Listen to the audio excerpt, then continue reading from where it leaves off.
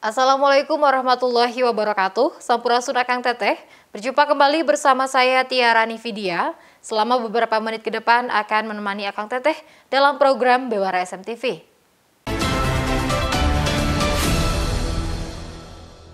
Puluhan warga bersama salah satu ormas di Kabupaten Sumedang, Jawa Barat siang kemarin mendatangi kantor BPN Sumedang. Kedatangan mereka untuk menyampaikan adanya oknum-oknum yang bermain dalam proses pembebasan tanah dan mengancam untuk melaporkannya.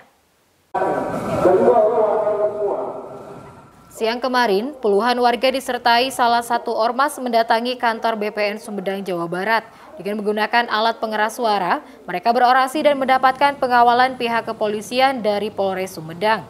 Menurut koordinator aksi, kedatangannya untuk menyampaikan adanya dugaan petugas BPN yang melanggar peraturan dalam proses pembebasan lahan tol Cisumdawu, tepatnya di kawasan Desa Lego Kaler, Kecamatan Paseh.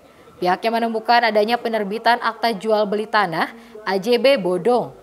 Termasuk pelanggaran lain, adanya beberapa bidang tanah yang harusnya tidak dibebaskan namun malah mendapatkan uang pembebasan lahan.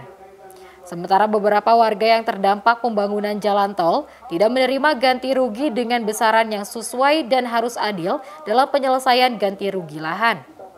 Bahkan pihak Ormas mengancam akan menempuh jalur hukum bila kondisi ini dinilai merugikan keuangan negara. Yang tidak harusnya dibebaskan di luar, oh malah dibebaskan. Nilainya lumayan fantastis, 585 juta satu.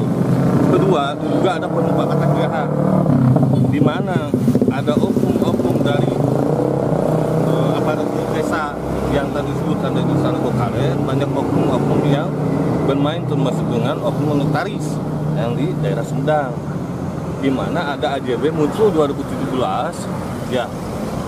Padahal apa namanya eh, penjual antara klien kami dengan pihak ketiga itu 2020 nah di dalam AJB di dalam AJB terbalik. Malah yang pihak pertama langsung ke pihak ketiga. Muncul.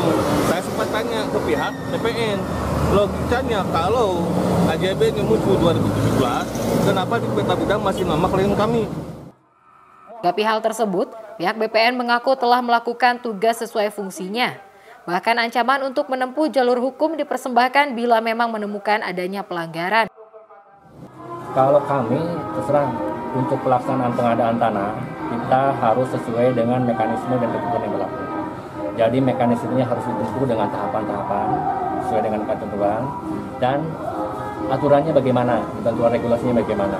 Jadi kalau misalnya dari pihak mereka merasa ada ada apa ya, tadi informasi ada ada kejanggalan-kejanggalan, kenapa akhirnya kita untuk lebih lebih firm ya, kita sampaikan pendampingan itu agar lebih bisa menyampaikan hal tersebut. Betul tidak tuduhan tersebut gitu. Para pembangunan tol Cisumdawu sendiri hingga kini masih dalam proses pengerjaan. Dari total 6 seksi yang dikerjakan, dua seksi masih dalam proses pembebasan lahan. Dari Sumedang, Jawa Barat, Usep Adi Wihanda melaporkan.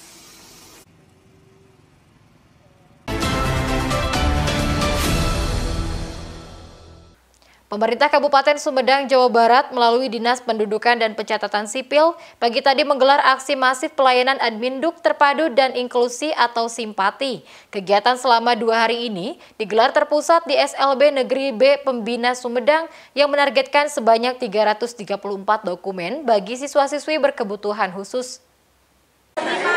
Alpira.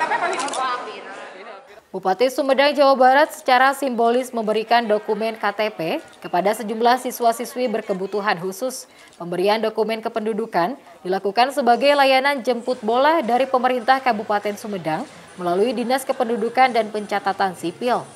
Pembukaan layanan emas dalam aksi masif pelayanan adminduk terpadu dan inklusi atau simpati yang dilangsungkan terpusat selama dua hari di SLB Negeri B Pembina Sumedang. Menurut Bupati, setiap warga negara termasuk yang berkebutuhan khusus harus tetap mendapatkan pelayanan yang sama. Pemda sedang hadir memberikan pelayanan jemput bola.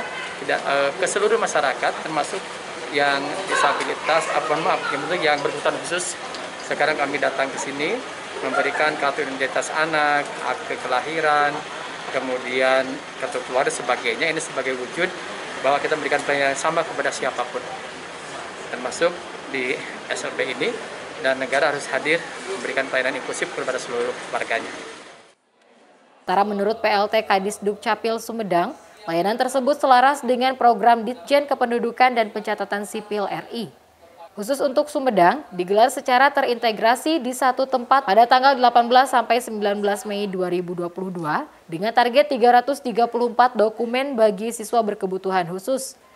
Namun bila target dua hari belum terpenuhi, layanan tetap dibuka di kantor dinas dengan tetap memberikan pelayanan secara khusus bagi para siswa SLB se-Kabupaten Sumedang.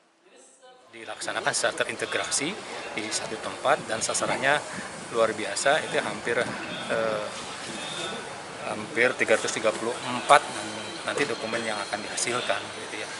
Jadi alhamdulillah ini bisa terselenggara sesuai dengan dengan undang-undang bahwa setiap warga negara mempunyai hak yang sama atas eh, kepemilikan dokumen administrasi kependudukan. Dalam kegiatan tersebut, selain perekaman KTP, dibuka juga layanan pembuatan kartu keluarga serta akta kelahiran.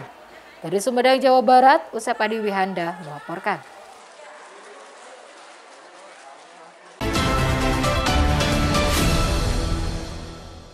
Akang Teteh, demikian Bewara SMTV untuk hari ini. Tetap saksikan Bewara SMTV setiap hari Senin sampai dengan Sabtu di jam yang sama dan Bewara sepekan di hari Minggu. Saya Tiara Nividia beserta tim redaksi SMTV pamit undur diri. Terima kasih. Wassalamualaikum warahmatullahi wabarakatuh.